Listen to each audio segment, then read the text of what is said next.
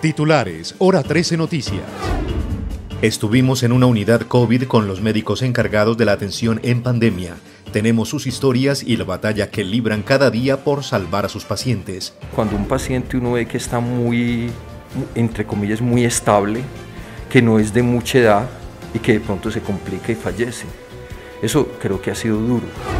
Trastornos de ansiedad y depresión tienen al límite atención en salud mental en Medellín. A las 7 de la noche inicia el toque de queda continuo en el Valle de Aburrá y Oriente Antioqueño. El toque de queda va hasta el martes a las 5 de la mañana. Les explicamos las excepciones y qué pasará con los turistas. Toque de queda continuo genera diferentes reacciones entre los alcaldes. En el Valle de Aburrá hay opiniones divididas. Mandatarios del Oriente advierten del riesgo para las regiones que no tienen toque de queda continuo. Pidieron que la medida sea para todo el departamento.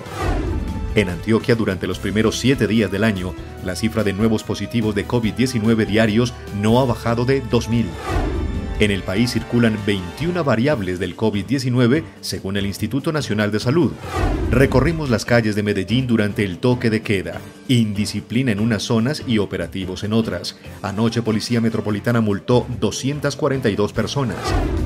El metro tiene horarios especiales para el puente de Reyes, acogiéndose a las medidas restrictivas. Les contamos.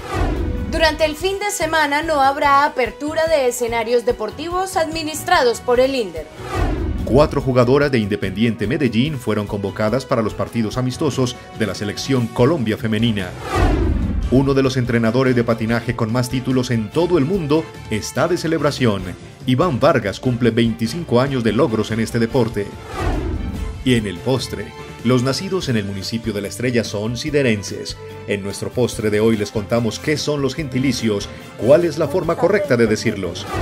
Disfrute este puente festivo de la exposición virtual que nos trae el Museo Casa de la Memoria.